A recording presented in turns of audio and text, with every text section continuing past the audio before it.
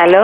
যে সুতির bed cover হবে? সুতির বেডশিট তো হবে। আচ্ছা প্লাস্টিকের বেড কভার হবে? আছে আছে সব রকম আছে। আমার আসুন। আমার বাচ্চা আসলে হিসি করে দেয় তো খালি? আচ্ছা ঠিক আছে আপনি আসুন সব রকম পেয়ে যাবেন হ্যাঁ?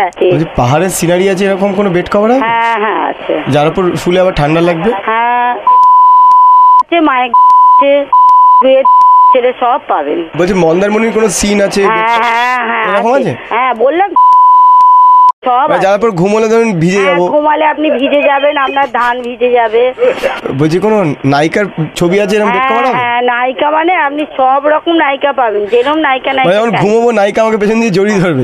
আসল কি বলুন তো এমন ছেলেরা ফোন ধরে না কিচ্ছু বলতেও পারি না। এই দাঁড়া না পরে। দিদি কোনো মার জঙ্গল মার বেটাকে হ্যালো দাদা তেল মাখানো কোনো বেড কভার হবে? হ্যাঁ। তেল মাখিয়ে নেবে। দাদা যার উপর শুলে স্লিপ করে যাবে। হ্যাঁ। হ্যাঁ বাগানের ছবিওয়ালা কোনো বেড কভার হবে? হবে। হ্যাঁ দেখবেন যেন ফুলের উপর মৌমাছি না বসে। এবার কামড়ে দিলে তো ঘুম ভেঙে যাবে না? হ্যাঁ হ্যাঁ। নারকেল গাছ বেড কভার হবে? নারকেল গাছ? হ্যাঁ। তোমার বাবার বাপ খাওয়া হবে। হ্যালো। হ্যাঁ দিদি ভাই কোনো ছেলে দিদি ভাই এখানে নেই। দিদি ভাই টিভি লাগানো কোনো বেড কভার হবে? হ্যাঁ মা আছে। মানে কি বলব শুয়ে শুয়ে টিভি দেখ নেই বেটা। হ্যালো। হ্যালো চিতপুর স্টেশন কে বলছেন? হ্যাঁ পুলিশের ডা- হাত করা লাগানো কোনো বেড কভার হবে? আপনার লাগানো হবে নেবেন? এই জেলের যে গরাত প্রিন্টের কোনো বেড কভার হবে? হাটা তোর ফোনে পয়সা ওঠে না নাকি কল ফ্রি না আমি তো আগে জেলে থাকতাম তখন বাড়িতে খুব একটা ভালো লাগছে না তাই ভাবছি বেড কভারে লাগিয়ে নেব। তোমরা পাগলা ভারতে নিয়ে যাওয়া দরকার যে। কেন? এ, এইসব কি বলছেন দাদা? আমি কি কোনো খারাপ কথা বলব আবার কেলায় মারবো কানের গোড়া এবার কি? দাদা কানের গড়ার ছবি আছে এরকম কোনো বেড কভার হবে? হ্যালো? আমি যে ঘুমোলে বাঘ গর্জন করবে এরকম বেড কভার আছে?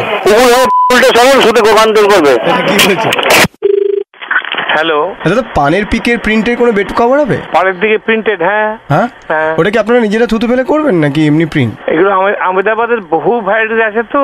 দাদা অ্যানাকোন্ডা প্রিন্টের বেড কভার হবে? ইন্টারেস্টিং লাগছে আপনার কথা শুনে। দাদা ঘুমোলে বেড কভারটা মাথায় হাত বুলিয়ে দেবে এরকম কোনো বেড কভার হবে? দেখুন আমার এগুলো জানা নেই বুঝলেন? গালি গালাজও করছেন আবার দিতেও পাচ্ছেন না। গালি গালাজ আপনাকে কেউ করেছে কিনা আমি জানি না একজন কিন্তু ভদ্র মহিলা আ- অসভ্য ভাষায় কথা বলেন আমার সাথে জানেন? আমি তাহলে এখনই চেক আপ করছি। এক্ষুনি চেক আপ করুন আমি এখন আপাতত ফোনটা ব্রেক আপ করছি। আচ্ছা ঠিক আছে। ঠিক আছে? হ্যালো?